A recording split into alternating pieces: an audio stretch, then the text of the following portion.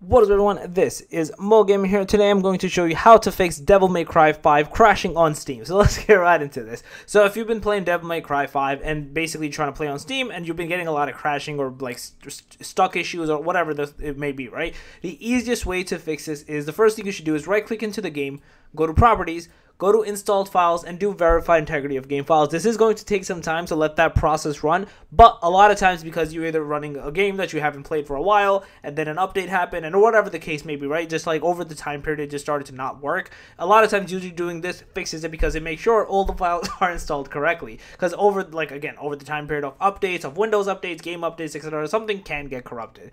Uh, the next reason if it doesn't work is most likely your graphic card is not updated. So you want to go to your search bar, type in device manager and then click into the display adapters, right click into the adapter itself, uh, click into update driver and then update it from here. If this doesn't work, you want to then copy paste whatever graphic card you have here, paste it into Google and say driver update and get it from the driver's websites directly. So yeah, that's basically it. If you guys are a video, please press up, guys, channel, make sure to subscribe, click that notification bell. and I'm going out. Peace.